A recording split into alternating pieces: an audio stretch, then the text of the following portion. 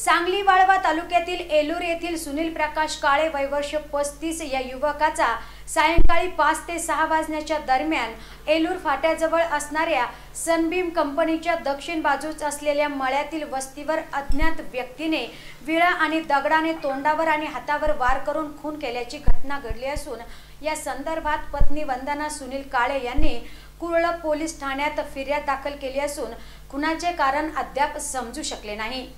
मयत सुनील काळे हे मोलमजुरी करून आपल्या कुटुंबाचा उदरनिर्वाह करीत होते. त्यांच्या मागे पत्नी एक मुलगा एक मुलगी आणि आई असे कुटुंब आहे. सोळा जानेवारी रोजी दुपारी दीड वाजण्याच्या सुमारास शेतातील वाकोरी करून घरी आले होते. त्यानंतर या दाम्पत्यास बहिणीकडे जायचे होते. त्यामुळे जनावरांसाठी वैरण घेऊन येतो असे सांगून सुनील काळे हे बाहेर पडले. पण नियतीच्या मनात काही वेगळेच होते. सुनील काळे यांनी उसाच्या पाचटाचे वैरण काढून मोटारसायकलने आपल्या शेताजवळ येऊन गाडी लावता आधीच दबा धरून बसलेल्या अज्ञात व्यक्तीने सुनील काळे यांच्या हातावर आणि तोंडावर विळ्याने वार केले. सुनील काळे यांचा यात जागीच मृत्यू झाला. दरम्यान या घटनेनंतर कुरळ पोलीस स्टेशनचे सब पोलीस निरीक्षक Arvind Kate police constable Sharad Patil police Naik Bhushan Mahadik Bajirao Bhosale police head constable Suresh Patil Anil Patil यांनी घटनास्थळी जाऊन पंचनामा करून कुरळ पोलीस स्टेशनमध्ये अज्ञात व्यक्ती विरुद्ध गुन्हा दाखल केला असून पुढील तपास पोलीस नाईक अरविंद काटे करत आहे.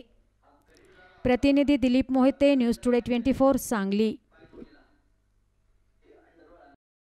राज्यातल्या आणि देशातल्या ताज्या घडामोडींसाठी आजच आमच्या यूट्यूब चॅनलला सबस्क्राईब करा आणि बेल आयकॉनला क्लिक करा आणि बघत रहा ताज्या घडामोडी.